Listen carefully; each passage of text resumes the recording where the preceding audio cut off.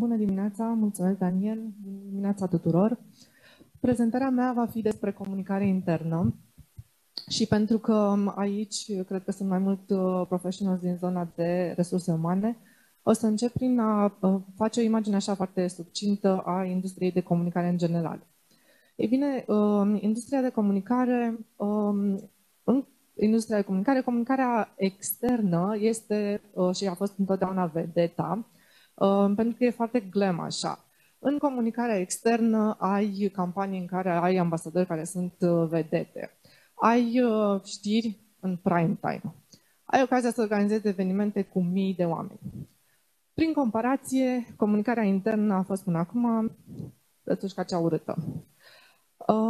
Dar cu toții știm uh, ce se întâmplă în poveste. Uh, Rățușca cea urâtă devine lepăda. Ei bine, cam așa s-a întâmplat și cu comunicarea internă în 2020. A devenit regina balului. Și astăzi aș vrea să vorbesc un pic de ce s-a întâmplat lucrul ăsta și de ce cred eu că va rămâne în continuare să, uh, să aibă această poziție centrală, să zicem.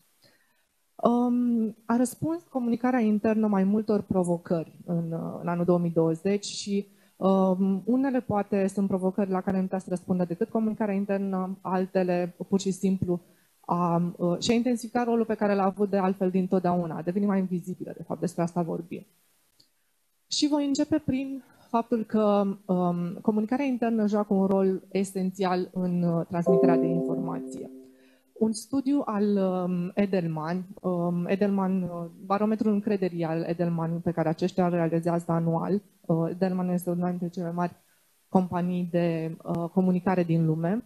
Arată că în 2020 angajatorul a fost sursa cea mai credibilă de informație.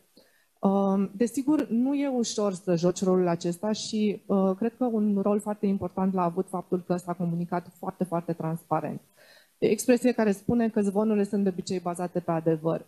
Ei bine, um, în, în ziua de astăzi, când suntem asaltați de informații contradictorii, când avem uh, toată această um, aceste teorii ale conspirației care apar în jur, suntem mult mai sceptici, suntem mult mai uh, înclinați să, uh, să aplicăm urechea la zvonuri.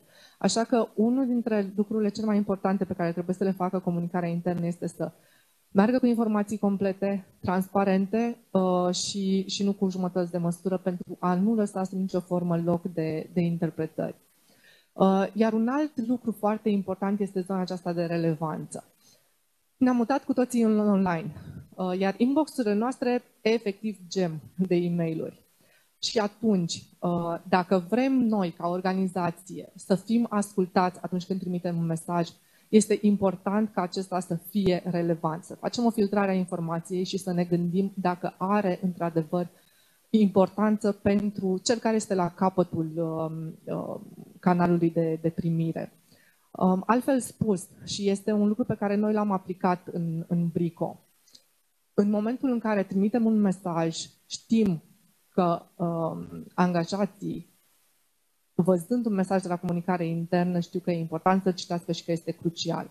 Ce am făcut noi a fost să eliminăm aproape în totalitate e mail uh, să comansăm informațiile pe care vrem să le trimitem într-un newsletter săptămânal, astfel încât în momentul de față, când colegii noștri primesc un e-mail de la comunicare internă, altul decât acel newsletter, știu că e mult să citească pentru că ceva este, este extrem de important, ceva arde.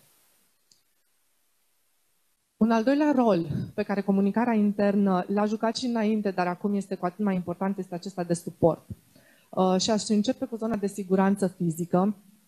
Um, dacă până acum siguranța fizică însemna pentru toată lumea SSM-ul, pe care îl știm cu toții, era chestia pe care trebuia să o bifezi de cele mai multe ori, uh, și colegul meu de la securitate nu o să fie foarte happy că am zis lucrul ăsta. Um, ei bine, uh, siguranța fizică a fost de fapt uh, pe primul loc anul trecut.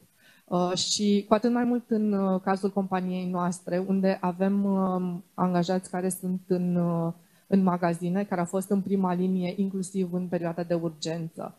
Uh, și um, a trebuit să le arătăm că luăm cele mai uh, drastice măsuri, astfel încât ei să fie în siguranță. Um, de altfel, suntem și primul um, retailer din zona de home improvement care am obținut certificarea DECRA care atestă faptul că am, am luat aceste măsuri.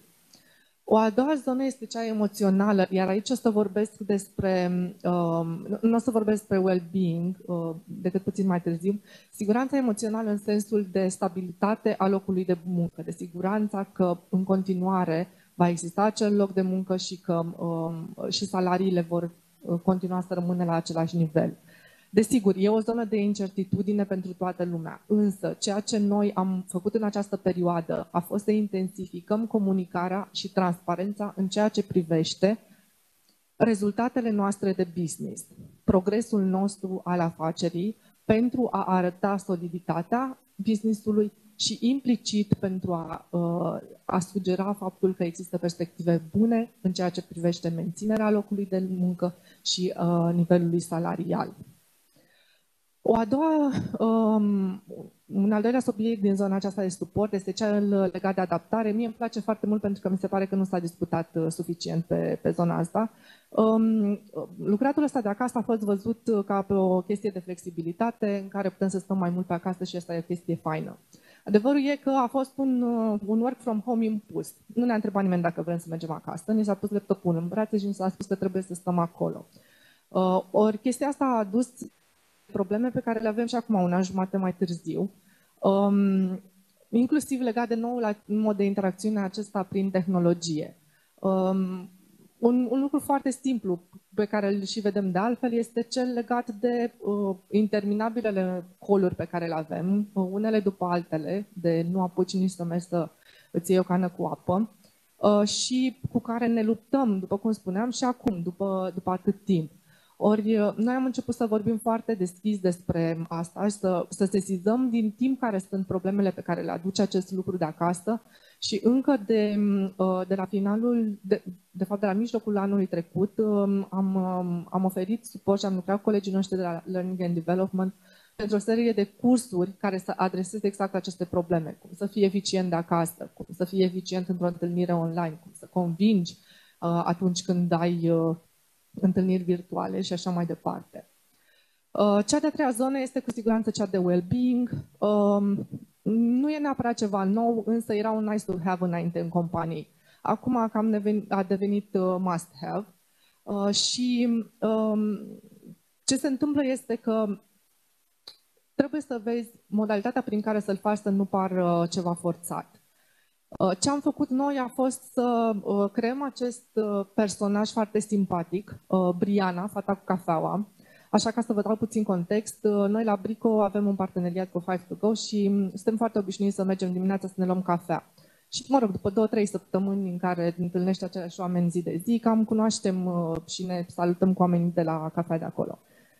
Așa a venit ideea Brianei, care este această fată care în timp ce îți face cafeaua îți mai dă câte un pont. Uh, avem pontul de un minut scurt cât în espresso um, legat de uh, cum, uh, cum poți să abordezi situație tensionată la birou, um, cum poți să ai o interacțiune mai bună cu colegii, ce exerciții să faci pentru coloana cervicală, că noi așa stăm cu toții foarte mult în fața calculatorului și așa mai departe. Uh, și e o modalitate creativă prin care reușim să aducem niște subiecte care de altfel sunt la îndemâna fiecăruia, că cu toții avem un calculator acasă, uh, dar să le, să aducem în atenția colegilor și să și facem să le citească. Uh, și am unit sub această briana absolut toate programele noastre de well-being, inclusiv Brico SOS, acest program de um, asistență prin care colegii noștri și familiile lor au acces la consiliere Um, în ceea ce privește, uh, privește problemele lor de um, natură uh, juridică, financiară, dar și emoțională. Uh, e, e un program care nouă ne place foarte mult pentru că, în sfârșit, um, punem acolo pe masă această zonă, a, în special a siguranței emoționale, care exista și înainte, însă abia acum a devenit extraordinar de vizibilă.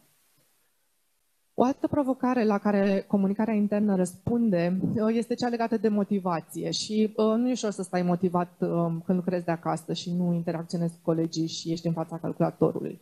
Um, așa că uh, rolul comunicării interne în a crea engagement este cu atât mai mare și mai dificil, evident. Să creezi engagement când toată lumea acasă nu e ușor. Noi am creat contexte pentru uh, comunicarea în ambele sensuri. Să vă dau doar un exemplu, avem um, town hall meetings, uh, întâlniri în care membrii de board, fiecare membru de board se întâlnește lunar cu echipa pentru a uh, discuta, pentru a lua pulsul. Uh, e o, efectiv o discuție acolo în care, uh, de altfel, trecem și dincolo de zona profesională și ajungem și într-o zonă mai personală. Și am folosit foarte mult zona de gamification. Oamenii reacționează la stimulente, știm cu toții lucrul ăsta. Um, i-am uh, provocat pe colegi să dea o dedicație de dragopete în versuri pentru colegilor. I-am întrebat cum se pregătesc de Paște, uh, le-am, uh, i-am întrebat unde își petrec vacanța. Sunt uh, mici, uh, mici concursuri pe care le facem, dar care funcționează, pentru că Uh, reușim să vorbim unii cu alții și reușim de altfel să vedem și cum suntem dincolo de, uh, de imaginea la calculator. Um, dar mai important decât atât e că i-am întrebat ce vor, de fapt. Um, am avut încă de la debutul pandemiei foarte multe um, contexte în care am pus întrebări. Am avut sondaje pe subiecte specifice, am avut comunități online uh, și ce a reieșit din toate a fost de departe faptul că suntem foarte diferiți. Avem tendința de a proiecta bula noastră asupra celorlalți, ori uh, trebuie să ieșim din gândirea asta și trebuie să um, adaptăm comunicarea și proiectele pe care le facem. Ne... zonă extraordinar de importantă este cea de leadership. Uh, cum faci acest uh, mentorat de la distanță? Um, e mult mai ușor să lead by example când oamenii te văd la cald, când văd cum reacționezi. Uh, noi am lucrat foarte mult cu, cei, cu colegii noștri de la Learning and Development tocmai pentru a uh, susține uh, programele lor de, de leadership și din nou am creat aceste contexte în care liderii se întâlnească cu echipele și să fie vizibili pentru a, a continua să inspire. Um, iar aici e foarte important, din nou, cum, cum faci această comunicare. Um, și o să dau din nou un uh, exemplu legat de zona de creativitate. Ei bine, uite, așa am promovat noi um, cursurile Um, catalogul nostru de traininguri prin, um, um, printr-o metodă foarte creativă care cu siguranță i-a, i-a făcut să, să fie atenți la ceea ce primesc în inbox. Uh, meniul de săptămâna viitoare se referă cursurile pe care le aveau disponibile în preajma Halloween. Voi trece rapid pentru că nu am foarte mult timp la dispoziție. În zona de cultură organizațională, Um, cu siguranță comunicarea internă avea un rol foarte important și înainte, acum cu atât mai mult pentru că suntem la distanță. Um, o, o, un prim lucru este echilibristica aceasta între a le arăta uh, angajaților că sunt pe primul loc și sunt într-adevăr uh, punctul central, dar a-i face să înțeleagă că trebuie să le livreze în continuare, trebuie să atingă obiectivele. E de fapt o lecție de economie pe care trebuie să le dăm, uh, dar uh, sub nicio formă nu trebuie să fie academică. Uh, după cum spuneam, un echilibru destul de fin. În același timp, uh, zona de spirit de echipă, um, am, um, am constatat că dacă într-o primă fază pare un pic mai dificil să faci uh, coeziunea echipei de la distanță, pentru noi pandemia a fost de fapt o adevărată oportunitate. Um, noi suntem împrăștiați în toată țara, suntem 35 de magazine, avem și sediu central. Faptul că uh, ne întâlneam fizic crea aceste enclave. În momentul în care ne-am mutat cu toții în online, am avut acest level playing field și am ajuns la concluzia că dacă toți suntem în online, uh, putem să profităm de lucrul ăsta. Și vă dau doar două exemple foarte scurte. Uh, petrecerea de Crăciun, care înainte fiecare și-o făcea acolo în, la, în bisericuța lui, s-a transformat în acest proiect um, um, în care uh, propriului colind de Crăciun. Uh, ne-am întâlnit într-un, uh, într-un eveniment online în care pentru prima dată am pus acest colind uh, și a fost un sentiment foarte plăcut să, uh, să vedem ceva creat de noi toți. Uh, iar același lucru l-am făcut și de 1 iunie. Nu am mai avut acele petreceri clasice pentru copiii angajaților. Ne-am adresat copilului din fiecare dintre noi uh, și am a avut uh, acest proiect în care fiecare a trimis o poză cu, cu el când era mic. uh, care uh, a fost pusă pe un perete virtual și mai apoi printată și afișată foarte mare în fiecare dintre magazine. A fost de departe cred, cel mai de succes proiect pe care l-am avut. Am primit pozele alături de comentarii legate de locul în care a fost luată poza sau cum erau oamenii când erau mici. O zonă um, emoțională și care ne-a, ne-a apropiat foarte mult. Um, un ultim aspect aici este zona de uh, integrare de colegi noi. Cum faci să intri în echipă când ești, uh, uh, când toată lumea lucrează de acasă? Noi avem un, o practică. Uh, colegul nou este întâmpinat de manager și de cele mai multe ori și de restul echipei și credem că e important să se întâmple lucrul ăsta. Colegul nou are o întâlnire cu CEO-ul companiei uh, în care discută atât despre companie cât și despre Uh, lucrurile care uh, um, contează într-o plină transparență, începând de la valori, dar terminând cu strategia. Uh, sunt lucruri pe care le află încă din prima lună, tocmai pentru a face această integrare mai ușoară. Uh, și uh, foarte pe scurt, ai, acest ultim slide, zona de employer branding, um, am descoperit că în zona de online avem din nou această oportunitate de a face recognition faptul că nu ne putem întâlni fizic înseamnă că putem să ne cunoaștem online mult mai simplu și am uh, introdus tot felul de, de proiecte prin care colegii noștri sunt vizibili și uh, o să vă dau doar două exemple. În newsletterul nostru săptămânal avem uh, o rubrică care se numește Magazinele noastre, prezentăm câte un magazin și dincolo de performanța financiară, ce s-a întâmplat a fost că am aflat uh, pasiunea ale colegilor noștri extraordinare. Avem colegi care fac uh, reconstituiri istorice, avem colegi care um, sunt în discuții să deschidă un muzeu pentru că sunt mari colecționari de biciclete vechi și de um, uh, documentele referitoare la bicicletele vechi. Ei bine, lucrurile astea le-am aflat acum în pandemie, nu le știam înainte. Uh, și poveștile de tipul acesta le-am strâns și avem această rubrică lunară care se numește Poveștile Bricoși, în care aducem în față um, astfel de realizări extraordinare. Um, are un rol important uh, zona aceasta de recunoaștere în retenție și de altfel uh, toate uh, lucrurile despre care am discutat până acum, engagement, well-being, uh, susținerea leadership-ului, toate creează engagement, uh, retenție și uh, in the end creează uh, ambasadori.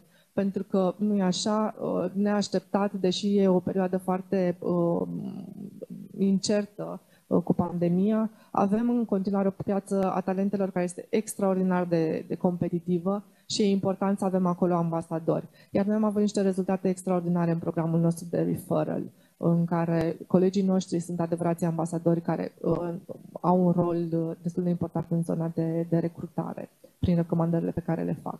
O să mă opresc aici, pentru că deja am depășit timpul. Uh, Daniel? Mulțumim, mulțumim frumos!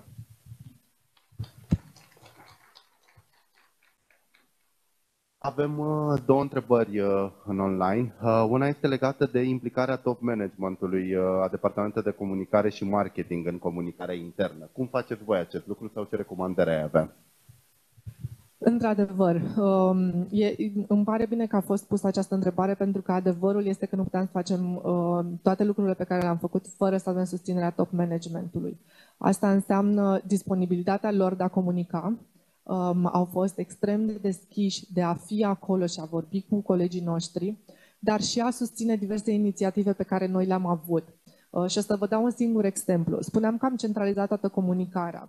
Um, înainte, fiecare uh, team leader um, voia să își prezinte proiectul sau ce avea de comunicat printr-un e-mail uh, Uh, de sine stătători. Și era foarte greu să faci acest pushback și să înveți, după ce au fost învățați atâția ani că au proprii e-mail, că o să afle lumea de proiect din newsletterul săptămânal. Ei bine, în momentul în care CEO-ul anunță rezultatele financiare anuale în cadrul newsletterului săptămânal, este un semnal foarte important pe care îl dai. Că ăsta este practice-ul pe care îl avem acum și, și urmează să fie implementat. Um, nu, uh, nu cred că se poate într-adevăr face uh, comunicare, engagement și de altfel o, o politică de HR sănătoasă dacă nu ai top managementul on board.